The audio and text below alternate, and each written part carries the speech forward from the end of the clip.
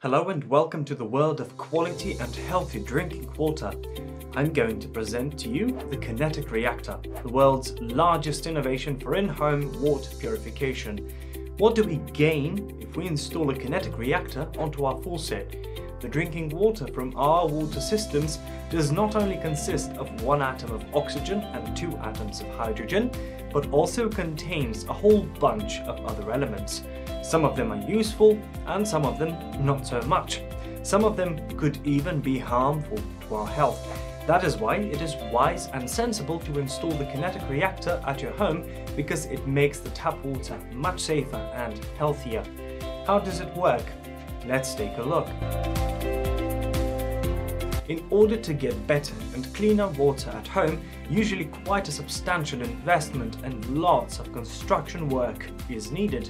A team of fitters come to your house and install a big chunk of equipment under your kitchen sink. Even greater investment is needed if you decide to install a central filtration system.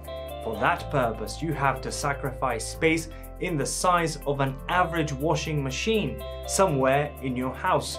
Besides that, it takes regular periodical replacing of the filtration inserts. The kinetic reactor performs the same job, but in a whole new manner. Installation is a simple job.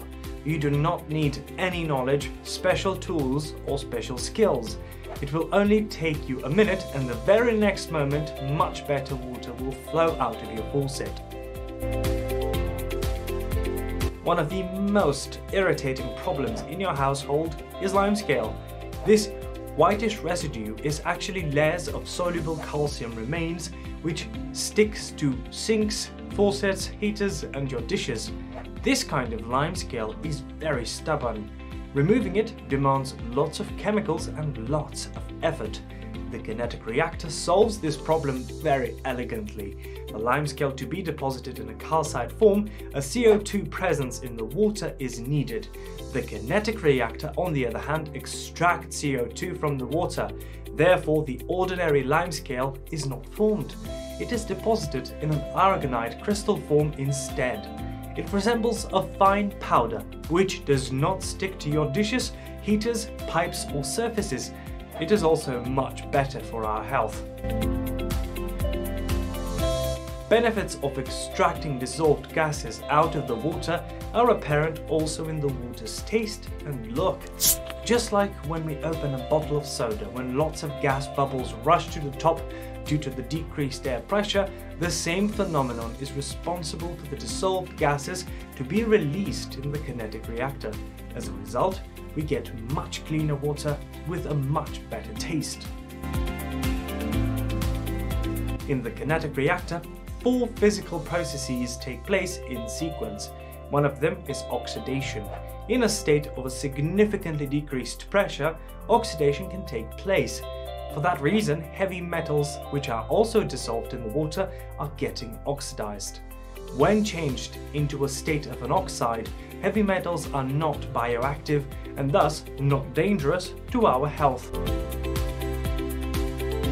All the physical processes that occur in the kinetic reactor are significantly decreasing the number of bacteria in the water. First of all, the vacuum in the vacuum chamber is a very harsh environment for the bacteria.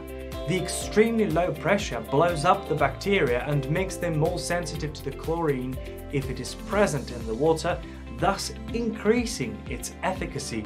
Even more harmful to the bacteria is the aftermath of the cavitation process. The hydrojet effect is so powerful that bacteria simply cannot survive it.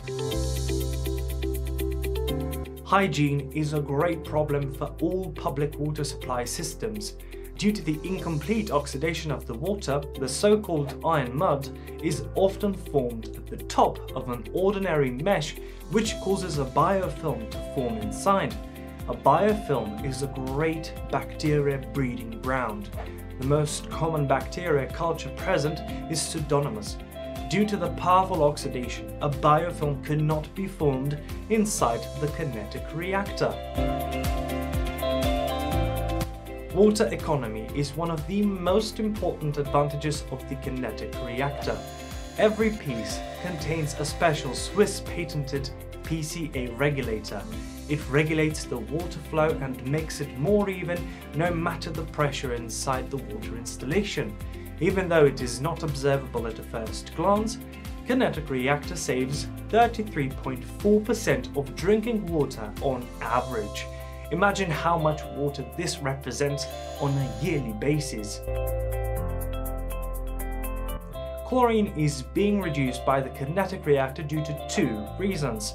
In the vacuum chamber, chlorine is being spent for bacteria elimination, and because chlorine is a gas, it is being extracted in the final stage of the process along with all other gases. You might smell some chlorine in the faucet, but there will be only traces in the water. One of the most important differences between ordinary filtration systems and the kinetic reactor is that the latter does not retain anything. Water is thoroughly physically processed, but nothing is retained inside the filter itself. That's why this technology is much safer. All over the world, countries are changing waste management legislation, including management of the waste filtration inserts of common water filters. In the future, they will have to be deposited in special waste bins and not anymore in regular trash bins like before. This is because those inserts are full of bacteria and other waste materials that were extracted from the water. Because of that reason, such filtration inserts could also be a source of water contamination if not replaced regularly. Because of the warmer environment, the accumulated matter quickly starts fermenting inside the filters. An ordinary carbon filter can effectively purify water, but that only means that every following gallon is being strained through the waste already deposited inside the filter. The manufacturer's instructions on when to replace the filter is only a wild guess and a bad compromise between economy and safety. Because of that, not retaining anything inside is Kinetic Reactor's most important advantage. So there is not a single argument that would speak against Kinetic Reactor, but there are quite a lot that say you should get yours.